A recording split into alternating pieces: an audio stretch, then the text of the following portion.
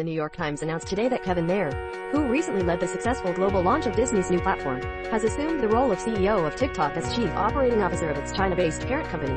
Baitens, these concerns are likely to impede TikTok's future expansion and the company is keen to get rid of them. But existing regulations still suggest that TikTok, under the leadership of the Chinese owner ByteDance, is obliged to provide user data to the Chinese government if requested. These problems began almost immediately.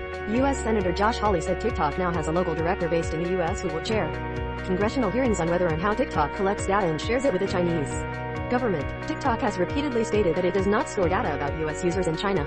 Although many security officials are unsure, that's why ByteDance is now in the Cayman Islands tax haven, which may be another way for TikTok to distance itself from Chinese government associations. If TikTok owns the data and ByteDance has been asked to make it available, it is likely that TikTok will have to do so regardless of where the data is technically stored. Last month, the UK Department of Defense issued an internal directive that TikTok could not be used by workers, noting that the request is likely to be affected by the Chinese regime.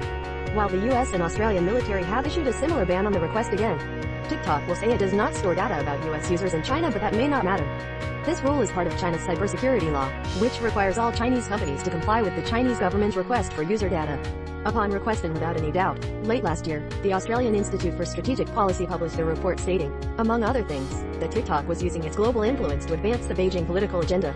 But maybe TikTok is also working on a technical issue. As already said maybe Mayer is in a situation where TikTok is based in the Cayman Islands. Which means there is no basis for that. Well, TikTok must have offered Kevin Mayer a lot of money to take on this role. TikTok's new Director of Information Security, Roland Cloutier, was indeed very cautious about including this element in his introductory role, where he designated his immediate priorities.